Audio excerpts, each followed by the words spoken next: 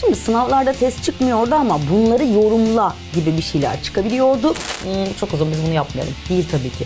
Sulanmış bitki. Eğer ortam aydınlıksa fotosentez yapacak. İnek süt üretir demek ki üreticidir diye hataya düşebiliyoruz.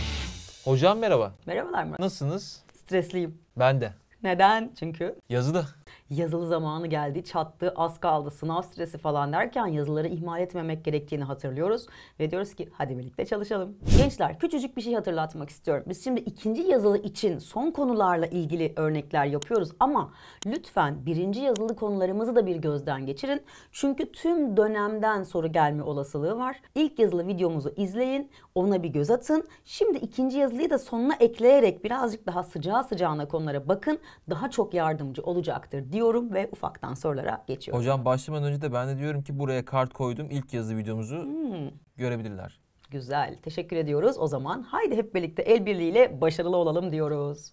Ne yaptık? Dedik ki canlılar ve besin ilişkisinden başlayalım. KLMN canlılarımız varmış, bazı bilgilerimiz varmış ve bir zincir oluşturacakmışız. Önce ne yapacağım? Üreticiyle başlamam gerektiğini hatırlayacağım.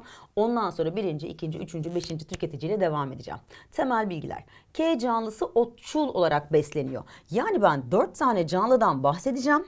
Otçul olan otu yiyen arkadaşı K'yi buraya alacağım. Sonra bana diyecek ki L'nin enerji kaynağı M'dir. Yani ne olacak gençler?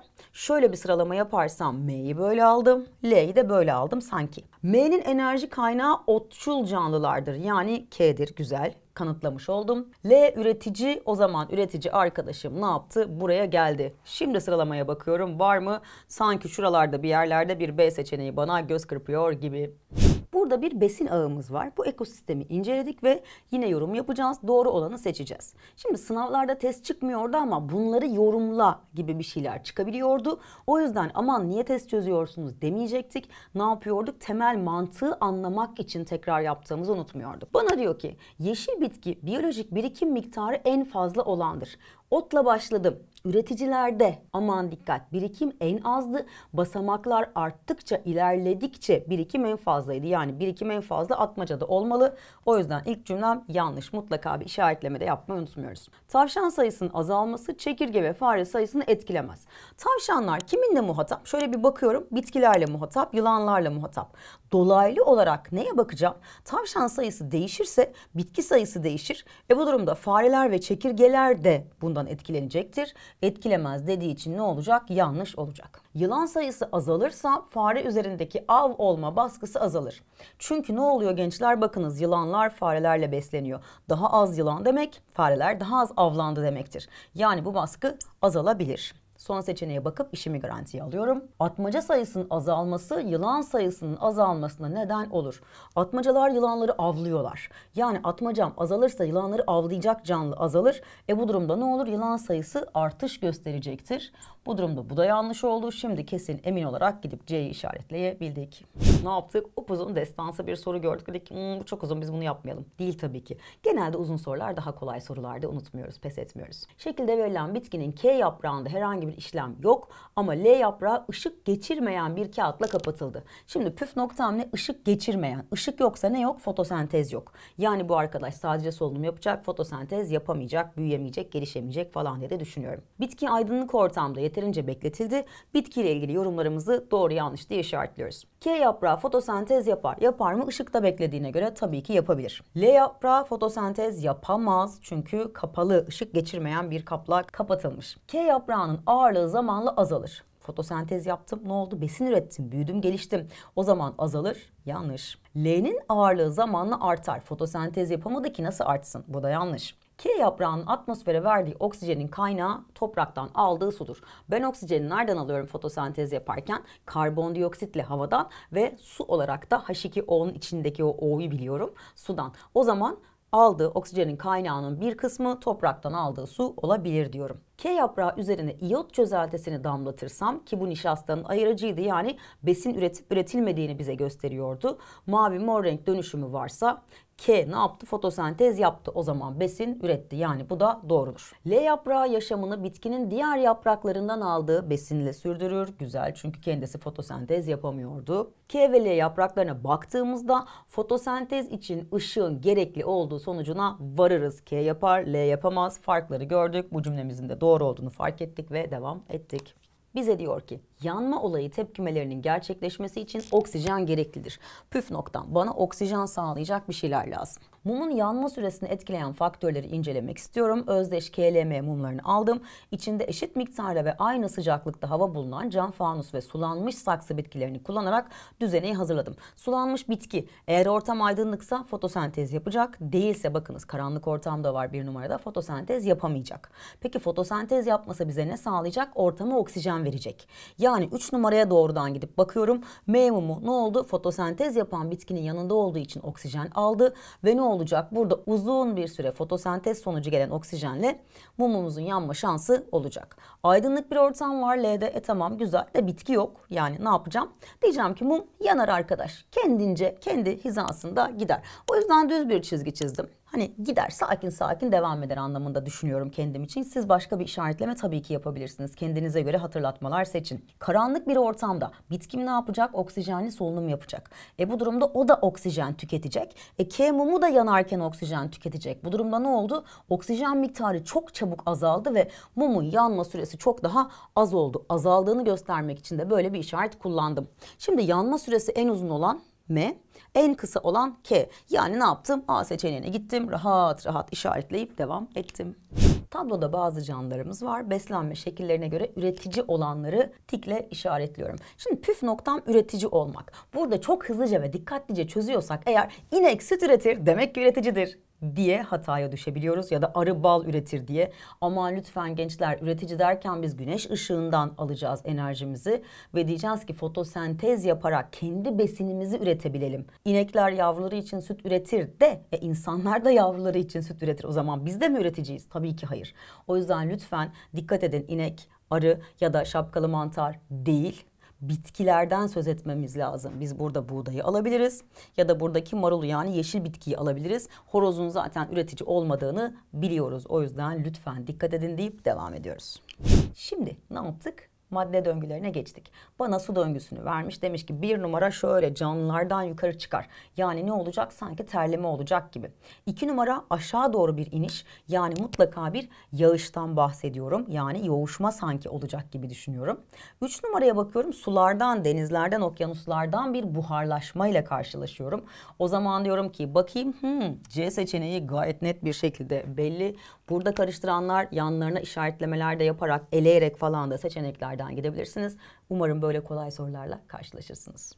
Böyle destansı bir deney sorusu varsa bilin ki cevap sorunun içinde bir yerlerdedir. Grafik çizeceksek rahat rahat çizeriz zaten. Bazı canlılar hücrelerinde oksijen kullanmadan enerji üretirler.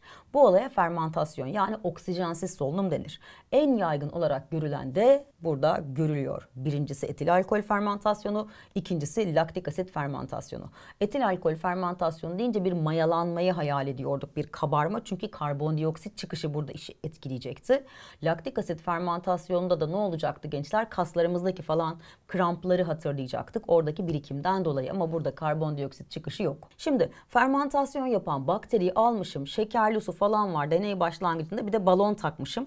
Deney sonucunda balon şişmiş. Açıklamaya bir bakıyorum. Bu olaylarla ilgili araştırma yapmak istiyorum. Deney düzenini kurdum. Cam kap içine şekerli su ve fermentasyon yapan bakteriyi koydum. Şekerli su besleyecek yani besini kullanacak bizim bakterimiz. Cam kabın ağzına balonu yerleştirdim. Başlangıçta balon şişkin değilken sonunda şişti. Neden şişti? Çünkü püf nokta balonun içinde karbondioksit gazı birikti. Yani ben ne yapıyorum? Burada etil alkol fermentasyonu yapıyorum. Aman buna dikkat. Şimdi bakıyorum. Bana diyor ki deney sonucunda kapta etil alkol ne oldu? yavaş yavaş arttı. Etil alkol fermentasyonunda ne oldu? Hop şöyle bir çizelge gördük. Şeker miktarı ne oldu? Şekeri ne demiştik? Besin olarak bakterimiz kullanacak. E bu durumda var olan şeker kullanıldığı için yavaş yavaş yavaş yavaş aşağı doğru bir çizgi oluşturacak, azalacak. Oksijen miktarı aman dikkat arttı azaldı falan demeyeceğim. Oksijen miktarı beni bağlamaz. Çünkü ben fermentasyon yani oksijensiz solunum yapıyorum.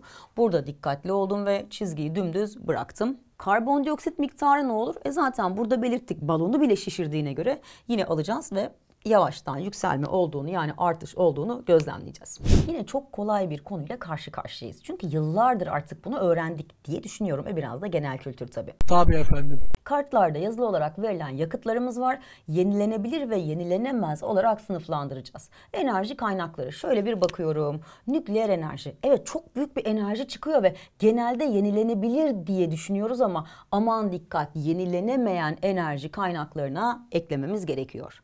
Rüzgar dediğimde istediğim kadar kullanayım, tekrar tekrar kullanayım. Yani yenilenebilir olduğunu biliyorum. Aldım hemen şuraya yapıştırdım. Petrolden bahsettiysem bir kere fosil yakıt gördüm. O yüzden hemen dedim ki tabii ki yenilenemeyen enerji kaynağı. Dalga, hareket ne güzel değil mi? Biz de dalgamıza baktık ve dedik ki yenilenebilir enerji kaynağı. Dayanamadım, kötü espri yaptım, üzgünüm. Hidrojenden bahsettiysem ne yaptım? Yine yenilenebilir enerji kaynağı olarak ekledim. Hidroelektrik yani suyun akışından yararlandım. Yine yenilenebilir dedim. Biyokütle dediğim zaman yine yenilenebilir olduğunu biliyorum. Kömür dersem hop yine fosil yakıtlara geldim. Yenilenemeyen enerji kaynağı. Jeotermal yer altından çıkan sıcak sular, aynede güzeller, kaplıcalara gidenler, sevenler 9 numarayı çok iyi yapacaklar. Doğal gaz dediğimde ne oldu? Yine bir fosil yakıttan bahsettim. Çevreyi daha az kirletir. Bazen hani diğer fosil yakıtlara göre tercih edilir, kafa karıştırabilir ama ama lütfen yenilenemeyen enerji kaynağı olduğunu biliyoruz. Güneş enerjisinin, güneş ışığının zaten yenilenebilir bir enerji kaynağı olduğunu biliyorsunuz diye düşünüyorum ve devam ediyorum.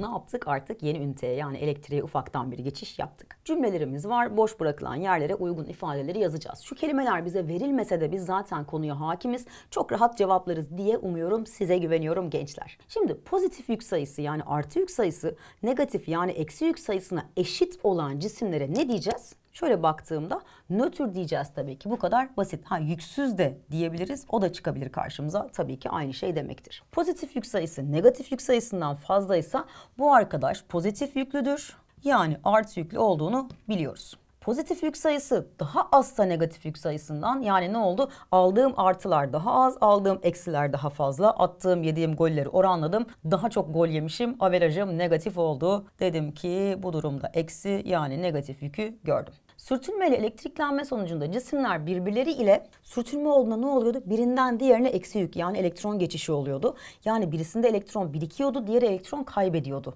Biraz detaylı anlatıyorum hani başka sorularda da böyle şeyler karşımıza çıkar diye.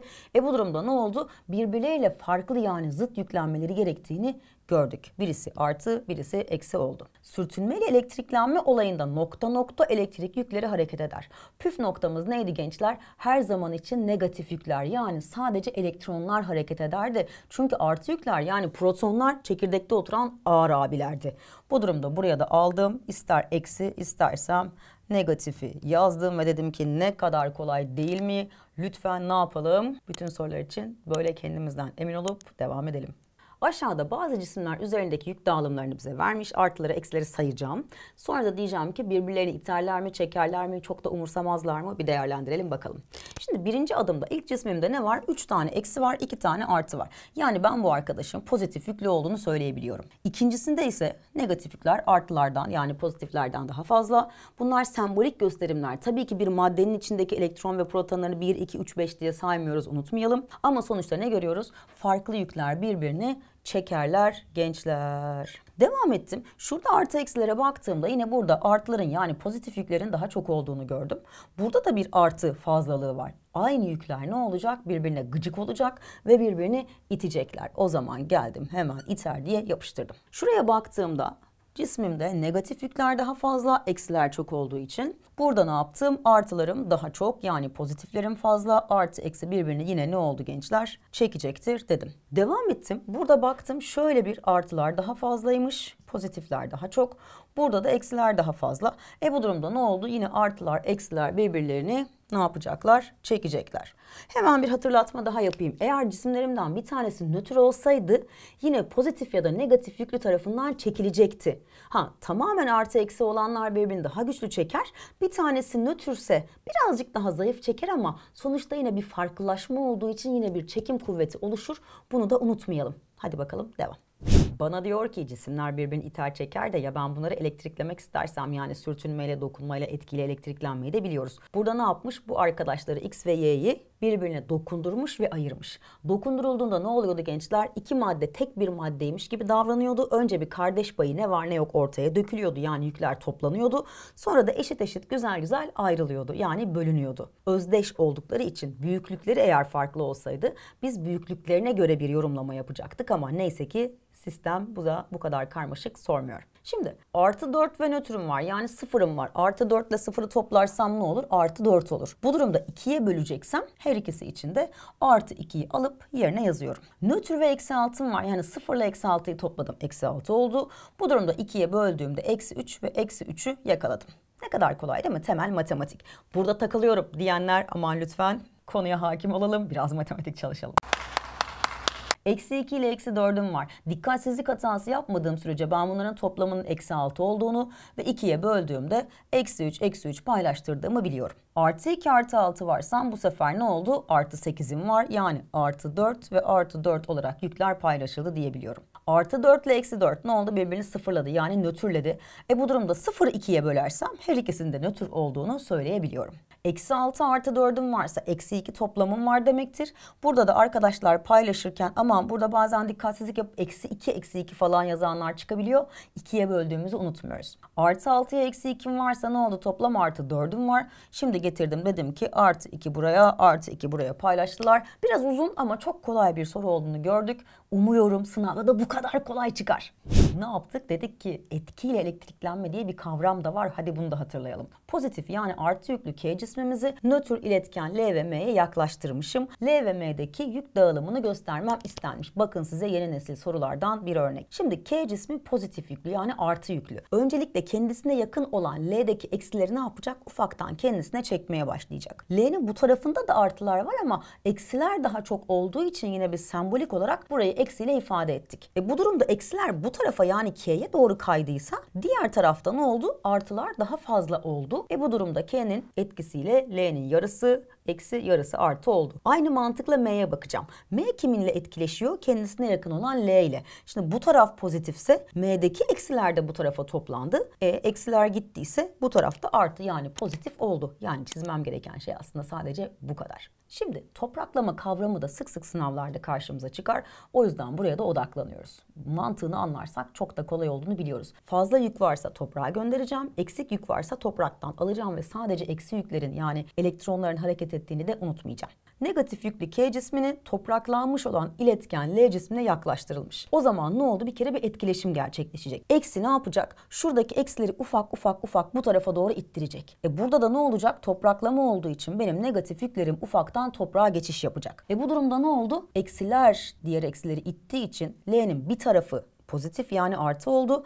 Diğer tarafı eksi olacaktı ama eksileri de toprağa verdiği için ne oldu gençler? Şu bölge nötr yani sıfır oldu. Şimdi inceleme yaparsam hemen bakıyorum. Bana diyor ki pozitif, negatif, nötr ifadelerini yaz. Yazmaz mıyız? Çok rahat yaparız. L cisminin bir numaralı ucu neyle yüklendi? Pozitifle. Hızlandırdım, tembellik yaptım. Sadece artısını koydum. İki numaralı ucu aman dikkat negatif değil topraklama olduğu için nötr yani sıfır oldu. Bu durumdayken toprak bağlantısını kestim. K cismini uzaklaştırdım.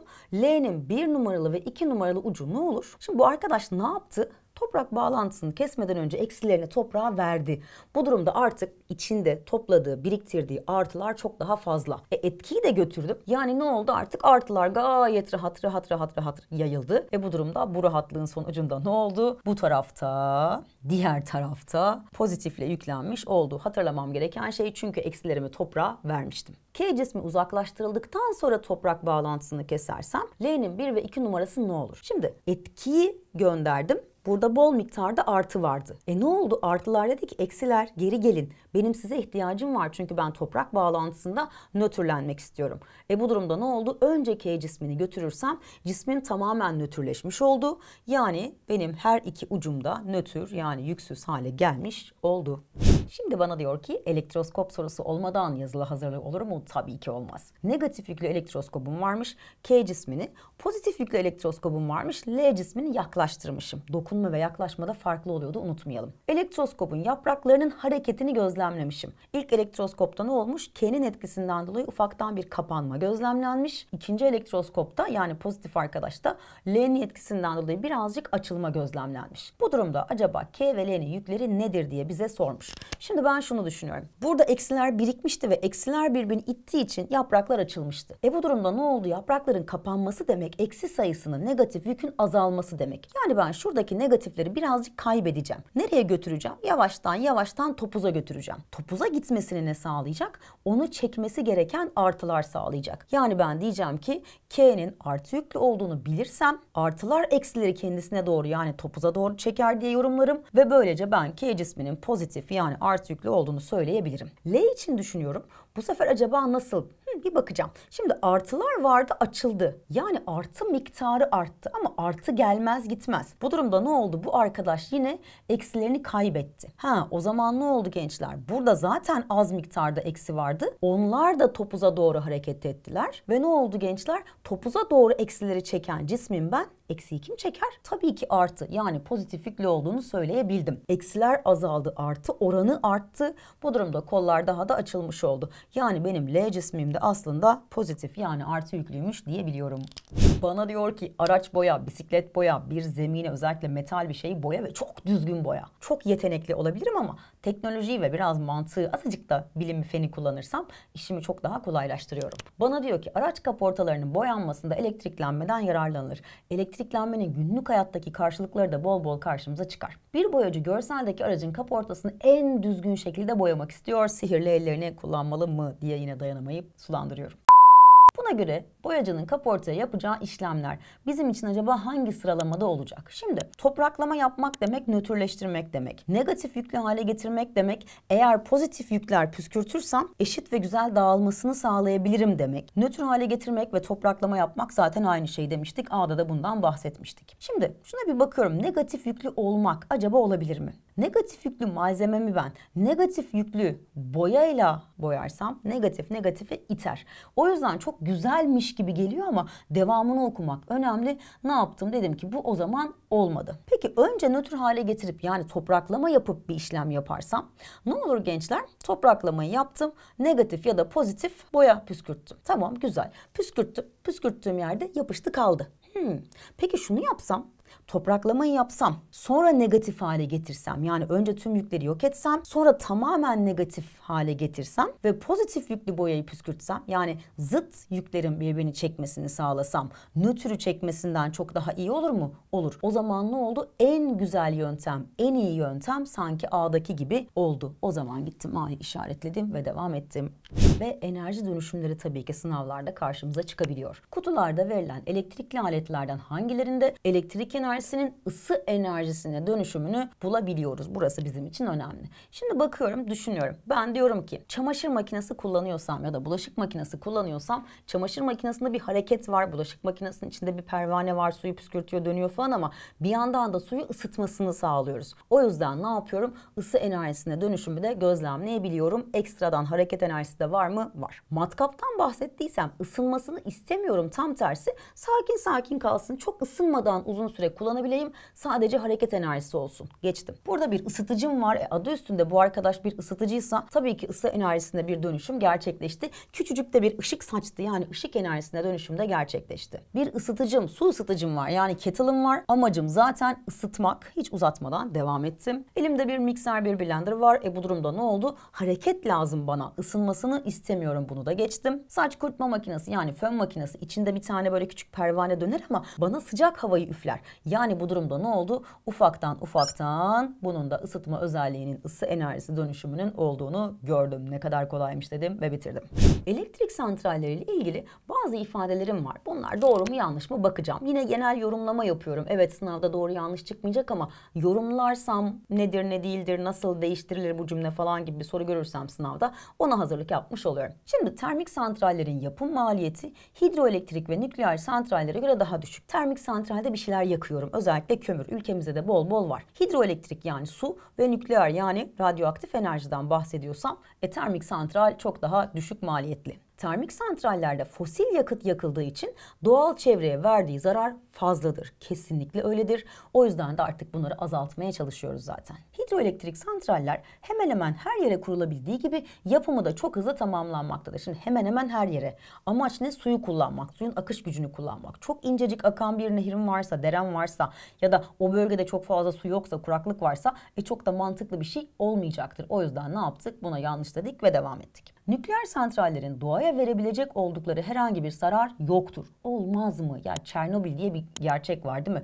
Hiçbir şey bilmiyorsam onun filmini falan bir yerlerden görmüşümdür. Hani genel kültürüm eksikse. O zaman ne oldu? Maalesef ki radyasyon çok ciddi sorunlar ortaya çıkartabilir. Atıklarının biriktirilmesi falan da problem. İşte soğutma çalışmaları problem. Herhangi bir zarar yoktur cümlesi kesinlikle yanlıştır deyip devam ediyoruz. Rüzgar santralleri ve jeotermal santraller yenilenebilir enerji kaynağıdır. Rüzgarı yer altından çıkan suyu falan istediğim kadar kullanayım. Ne yapıyorum? Tekrar tekrar tekrar rüzgar, güneş, jeotermal enerji kendini yeniliyor. Bu durumda bu cümlemde doğrudur diyorum ve devam ediyorum.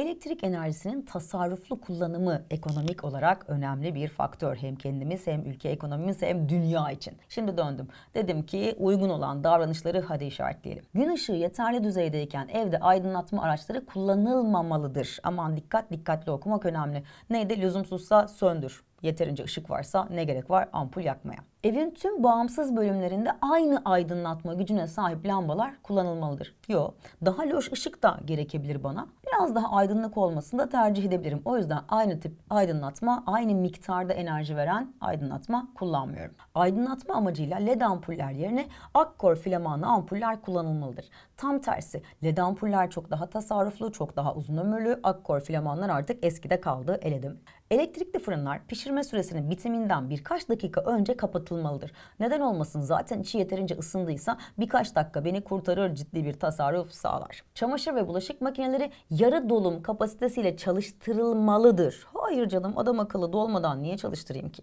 Kullanılmayan televizyon ve bilgisayarlar kumandadan kapatılıp bekleme konumunda bırakılmamalıdır. Tabii ki bırakılmamalıdır. O standby bekleme konumu ne yapıyor? Hala enerji sömürmeye devam ediyor. O yüzden gerekirse fişini çekelim ya da düğmesinden kapatalım diyoruz. Fırında yiyecek pişirirken sık sık fırının kapağını açıp bakarsam, pişip pişmediğini kontrol edersem ne olur? Ben fırın için tam ısıtmışken soğutmuş olurum. Fırın yine bir gaza gelir, ısıtacağım der. Bol miktarda enerji harcar. O zaman sık sık kontrolü mümkünse gidip camdan bakarak yapmak daha mantıklı. Fırının kapağını açmamak gerekiyor. Ne yaptık? Bu kadar da kolaymış dedik ama tasarruf hayatımızın önemli bir parçası. Sosyal mesaj vermeden duramadım, devam ettik. Ne yaptık? Sigortalardan bahsettik. Yani eğer benim devremde fazladan bir enerji gelişi varsa elektronik aracımın bozulmaması için sigorta kullanmalıyım. Şimdi sigortalarla ilgili boş bırakılan yerleri toparlayacağız. Elektrik devresinde tellerin aşırı ısınması ile oluşabilecek tehlikelere karşı önlem olarak zaten söz ettik sigorta kullanılır. Sonra devam ettik. Elektrik devrelerinde sigorta devreye nasıl bağlanır? Aynı devre üzerinde kullanmalıyım. Sigortam atmalı ve devredeki akımı kesmeli. Yani paralel bağlarsam saçma olur. O yüzden ne yapacağım? Seri bağlamam gerektiğini unutmayacağım. Sigorta elektrik devresinde gereğinden nokta nokta akım geçtiğinde akımı keser, güvenliği sağlar. Gereğinden büyük ya da gereğinden fazla demem yeterli olacak. Devam ediyorum. Eriyen telli sigortalar erime sıcaklığı nokta nokta iletkenlerden yapılır. Erime sıcaklığım çok yüksekse onun erimesi kolay değildir. E o zaman ne yapacağım? Düşük ya da küçük yazmam gerekecek. Bunu da düşüneceğim. 3 amper akımla çalışan matkapta kullanılması gereken sigorta bir tık fazlası yani çok daha fazlasını engellemeli. O yüzden benim için 4 amper yeterli olacaktır. 6 amperle çalışan bir elektrik süpürgen varsa da yine bir tık fazlasını yani 7 amperi kullanırsam benim için yeterli olur. Çok daha fazlasını kullanırsam yükleme çok daha artacaktır. Daha düşüğünü kullanırsam zaten çalışmayacaktır. Bakınız demiş ki 10 amperle çalışan klimada 8 amperlik sigorta kullanırsam 9 amperde yani klimamın çalışmasına yetmeyecek enerjide bile sigorta atar, tel kopar. E bu durumda ne olur? Klima çalışmaz. Çok da mantıklı bir işlem yapmış olmam. Bu kadar. Ne kadar kolaymış değil mi? Haydi geçmiş olsun o zaman. Hocam bitti galiba. Bitti geçmiş olsun gençler. Hocam çok güzel ben arkadaşlarımıza başarılar diliyorum. Ve onlardan hocam tek bir şey bekliyoruz. Beğensinler, abone olsunlar. Hocam bir de yorum yapsınlar. Lütfen. Sonuçlarınızı da merak ediyoruz aslında. Evet evet onları da yazsınlar hocam kaç aldıklarını. Çok teşekkür ediyorum size hocam. Ben de sizlere teşekkür ediyorum. Dikkatle dinlediğiniz için. O zaman ne diyoruz hocam? Bir Sonraki sonraki, videoda videoda. görüşmek üzere. Görüşürüz. Başarılar.